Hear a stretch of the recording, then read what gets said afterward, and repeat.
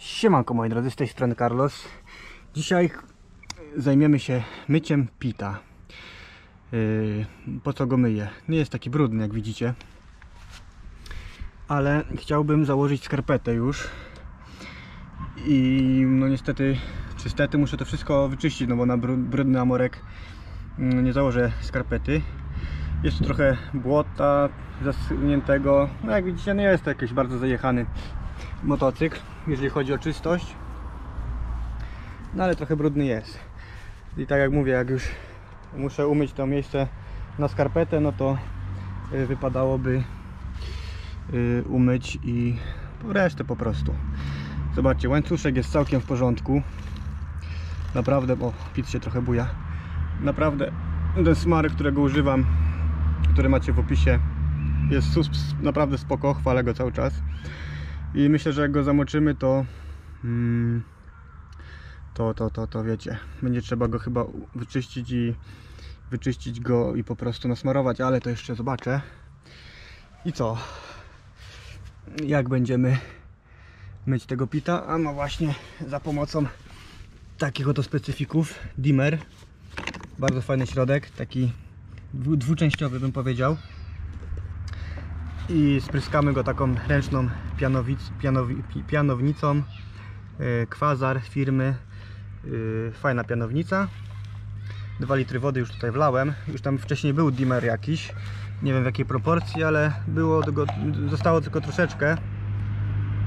I teraz po prostu tylko yy, doleję 50 ml, bo tu jest stosunek 1 do 50 yy, 1 do 50 do mycia wstępnego niby. No i z tym dimmerem trzeba uważać, bo jak zrobimy za duże stężenie, to po prostu odbarwi nam lakier, jeżeli jest jakiś słabszej jakości, czy no może nie jest słabszej jakości, ale odbarwi nam lakier. No i dimmer też bardzo odbarwia aluminium, także tak to wygląda. Doktor Carlos musi zrobić teraz proporcje, jak pierw musimy wymieszać, żeby po prostu się wymieszał ten, te dwa składniki, żeby się razem wymieszały. Kurczę, byłem bardzo zadowolony, jak się dowiedziałem o, o tym środku i że on jest taki fajny. W sensie, że dobrze, dobrze myje po prostu, no.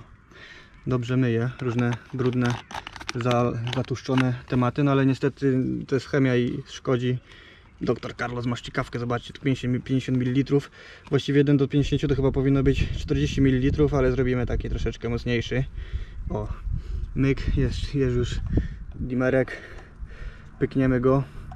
Czy pianownicę polecam? No, do mycia motocykli i rowerów tak, ale jak chcecie umyć samochód, to nie polecam, bo trzeba, wiecie jak jest tą pianą, kurczę, przede wszystkim mm, już nie mówię do dimera samego, ale jakbyście jakiś chcieli inny środek użyć, no to trzeba się trochę streszczać, żeby ta piana po prostu nam nie wyschła, zanim zdążymy go cały samochód tam zapianować, a no niestety ta pianownica jest można powiedzieć mało wydajna, dla- dlatego na pewno lepszym rozwiązaniem jest jakaś pianownica taka mechaniczna typowo. Kurde, komary atakują.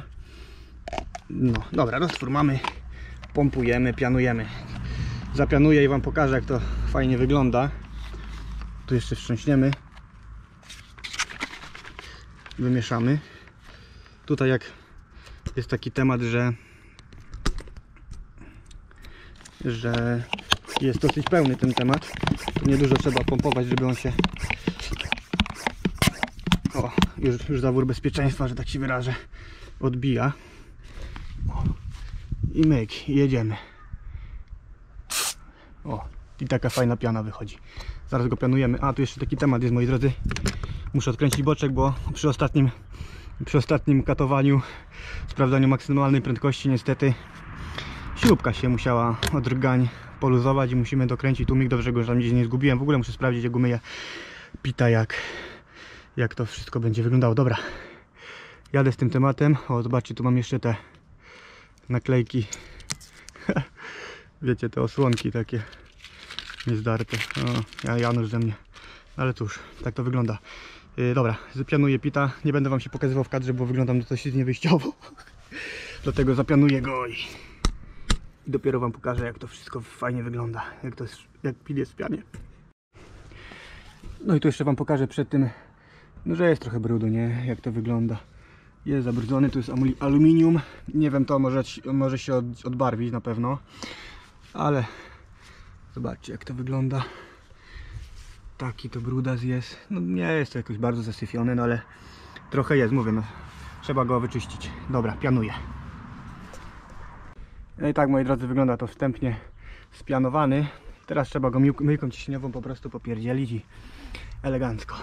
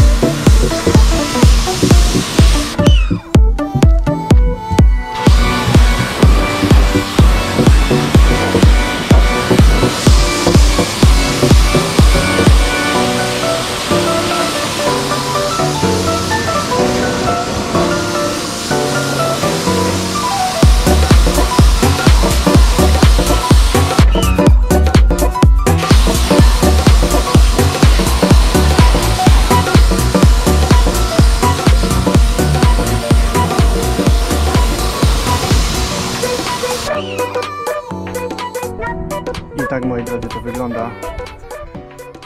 Mm, Troszeczkę pokrywy się odbarwiły, ale to nie ma żadnego znaczenia dla mnie. Teraz poczekam aż pit wyschnie.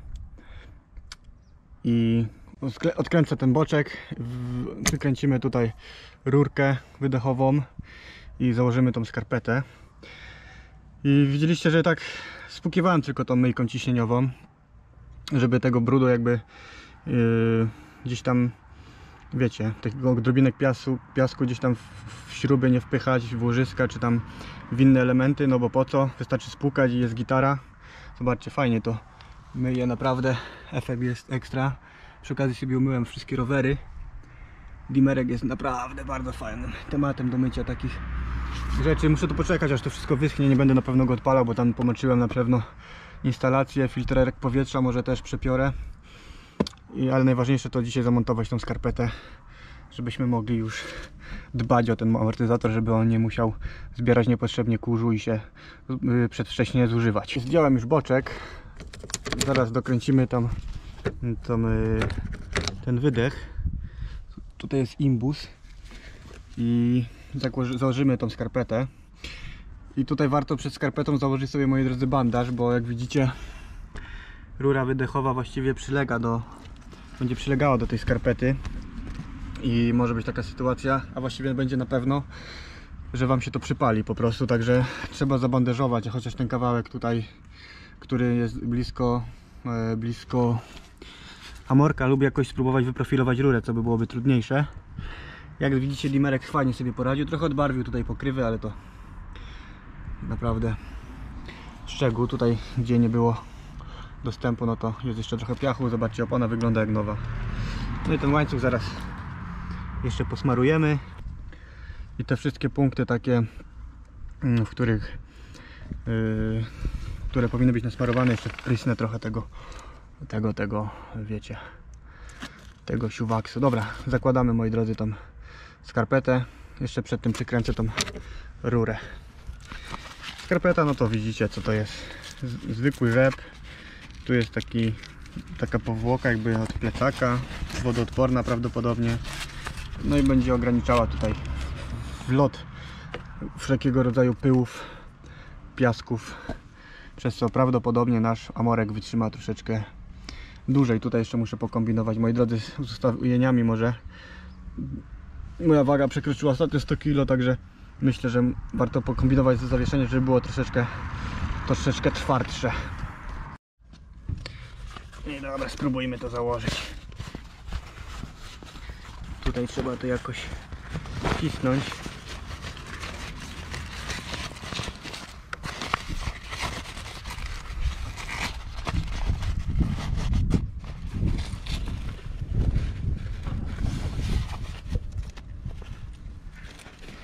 To jest chyba 36 cm na ten amorek, ta skarpeta, jeżeli chodzi o długość. Także są różne, trzeba patrzeć, bo są różne, różne rozmiary. Trzeba wiedzieć jaki ma się mniej więcej amorek długości. No nic trudnego, no po prostu trzeba to na tym rzepie przykleić równo. O, może w ten sposób uszczelnić, przekręcić, żeby luk był dobry. No i po temacie. I mamy mamy Amora zabezpieczonego. I tyle roboty. Podjedziemy teraz tym smarem. Macie link w opisie. Drogi smar, ale powiem że jestem zadowolony. Nie czyszczę go naftą. Tutaj warto podłożyć sobie jakąś tekturkę żeby po prostu ach przyniosę sobie większą tekturkę Dobra, podłożymy taki panel i smarujemy łańcuch sobie, żeby nie ubrudzić, moi drodzy, wiecie czego. Koła. No i gitara. Łańcuch pokryty odpowiednią warstwą. Tu jeszcze rąbniemy w, w łożysko. Tu też rąbniemy w łożysko, żeby to było wszystko nasmarowany z tej strony też. On tak fajnie jest płynny i wejdzie sobie wszystkie zakamarki. Jeszcze włożysko między wahaczem i z tej strony również. I tak to moi drodzy dajcie znać jak wy zabezpieczacie i myjecie swojego pita tutaj zobaczcie to się odbarwiło mam nadzieję, że film wam się podobał dajcie znać zostawcie łapkę. A i tam komentarze piszecie do mnie. Widzę, że to młode, młode osoby. Yy, czy się zmieszczę, czy będę pasował, czy nie jest za duży, czy nie jest za mały. Generalnie pamiętajcie o tym, że to jest speedbike i yy, on ma z założenia być mały, tak jak motorynka. No i jak chcecie, zastanawiacie się, czy będzie za mały, no to kupcie sobie lepiej full crossa, zostawcie sobie, yy, dajcie sobie spokój z pitem, bo pit to jest po prostu taki styl który musi być, że generalnie trochę za mały, jak widzicie ja stówkę ważę, 1,90 m mam i jeżdżę na RC Zecie 140 i mam z tego frajdę. Chciałbym jeździć na torze, no ale niestety torów w pobliżu mojego zamieszkania nie ma, ale może kiedyś coś się wymyśli może się pojedzie na jakiś tor, może się zrobi swój tor, zobaczymy dajcie znać, czy wam się podobało jeszcze raz yy, zachęcam do czytania opisu filmu tam są zawarte wszystkie informacje odnośnie czego, jakich tutaj używam olei, smarów i tak dalej. I trzymajcie się, lóweczka. Pozdro 600. A słuchajcie, ja się pożegnałem, moi drodzy, ale tu jest jeszcze bardzo ważna rzecz do przekazania. Patrzcie, co mam. Widzicie? To jest magnes neodymowy. Tutaj ktoś mi kiedyś polecił właśnie, żeby do, do, do śruby spustu oleju to przykleić, żeby zbierał niby opiłki. I to jest, moi drodzy, magnes neodymowy ze starego dysku takiego wiecie yy, talerzowego także jak macie stary dysk a nie macie magnesu to myk trzyma się elegancko kurczę i miejmy nadzieję, że będzie zbierał te opiłki przy wymianie oleju oczywiście zobaczymy czy to w ogóle miało jakiś sens bo zwykły magnesik wiecie z głośnika jest po prostu za słaby dobra i to tyle na koniec, bo mi się przypomniało, a chciałem w to filmiku właśnie tym zawrzeć. O kurczę, tu jeszcze wam pokażę, zobaczcie, pozakładane jest elegancko. Rura już się trzyma, Monster, mój ulubiony energetyk Monster Energy, akurat żółty, The Doctor, polecam. Dobra, tym razem już naprawdę się z wami żegnam. Eloweczka, trzymajcie się, miłej niedzieli.